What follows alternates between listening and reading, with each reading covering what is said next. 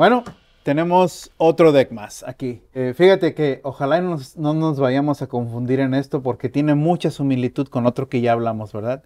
Eh, hace rato hablamos del Tectum, el deck Tectum, y utilizamos este tornillo, utilizamos este tornillo también, utilizamos el platillo y también esto que dije que parece una rondana. Ahora es, es otro, este es el Gypsum Deck.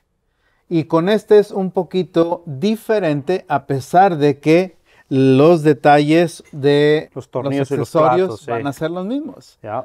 Entonces, esa es la razón por la que digo que no nos vayamos a confundir. Inclusive, con el Gibson Deck también no nos vayamos a confundir, porque mira, cuando yo lo veo, hasta me imagino que es el sheetrock de la pared, como que el drywall, ¿verdad? Y esa es una de los contratistas cuando instalan estos dormitos, usan tornillos a veces de drywall que hemos Mira visto para, para ponerle los, los- las fichas, pues los platillos al aislamiento y al tipio. Y eso no puedes usar. Tienes que usar los tornillos Entonces que estamos hablando ahorita. Entonces tengo razón que no nos vayamos a Sí. confundir. Bueno, es el Gibson Deck. Yep. Es lo que vamos a ver ahora. Sí. Vamos a instalarlo. Bueno, ya está instalado, pero vamos a poner ahora lo que es el aislamiento y también la membrana. ¿sí? Ya. So, el Tectum Deck, si te recuerdas, usamos nomás el taladro para meterle la- la- la- el, el tornillo. Solo taladro. Solo taladro. Pero con el Gypsum Deck tenemos que usar de nuevo el, el, el hammer drill que usamos para el concreto. Es igual, don Mitos. So, de nuevo tenemos el tornillo para el, ah, el plato para el aislamiento con su tornillo de metal, ¿verdad?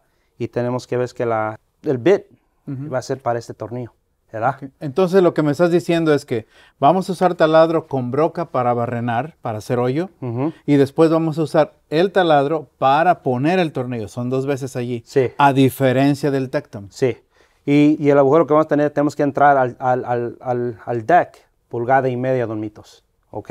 So, de nuevo, necesitamos diferente broca o bit para, para, para hacer el agujero y también vamos a necesitar un poquito diferente para el tornillo para usar la, la pistola del taladro. Muy bien. Pues Ok. ¿por qué no nos los demuestras para entenderlo mejor? Entenderlo mejor. Ok, ahorita vamos a empezar, don Mitos.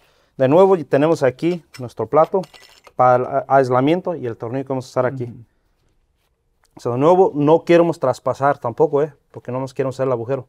Nomás queremos Entonces, que entre pulgada y media. ¿Me recuerdas? Pulgada y media nomás tener que entrar. Por eso mi taladro depende del aislamiento. Voy a tener que poner mi, mi broca. So, primero voy a hacer el hoyo, ¿ok?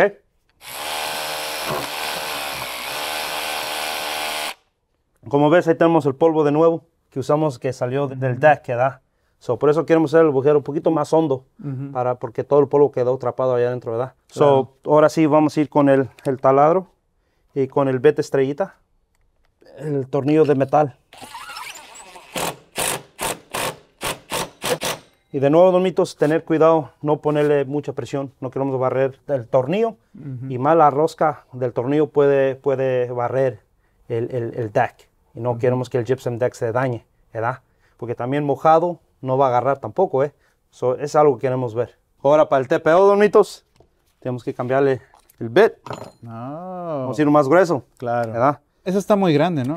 Sí, este está muy grande, don Mitos. Imagínate, aquí lo tenemos en una mesa. Estamos en el campo, queremos hacerlo parados. ¿Sí entiendes? Por eso lo queremos. Aquí en la mesa sí podemos hacerlo más chiquito, pero cuando estamos trabajando, estando parado, puede llegar al piso para no tener que agachar cada rato o estar de rodillas. Claro. So, ahora, don Mitos, también igual de método, no quiero más. Aquí le puse la cinta de duct tape para no traspasar, irnos muy, muy hondo. Ya con- está marcado. Ya lo Muy marqué con el, el- el- el- la cinta. ¿Qué don Mitos? Ya, está agu- ya le hicimos al agujero, no teníamos que llegar, ¿verdad? Ahora el taladro, de nuevo, son de plástico, don Mitos. Tenemos que tener cuidado que no vayamos a barrar, barrer la rosca o quebrar la cabeza del, del tornillo, ¿eh? Entiendo. tenemos que tener mucho cuidado cuando vamos a instalar este.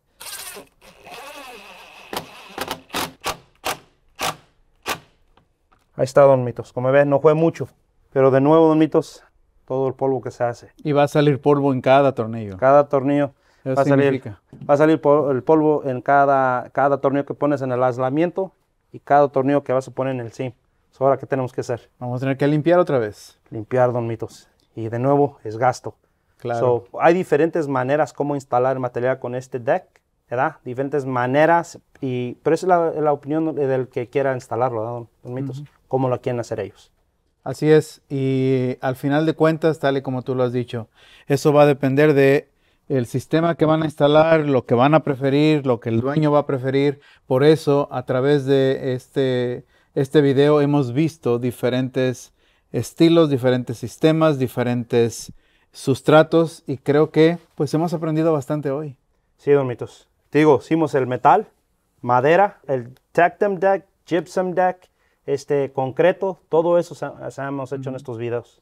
Y si queremos aprender algunas otras cosas, algunos otros tópicos, recuerden, siéntanse libres de ir solamente a YouTube y buscar más videos eh, de nosotros, también de Dave and Wally. Ustedes pueden encontrar muchos otros videos. Muchas gracias. Gracias.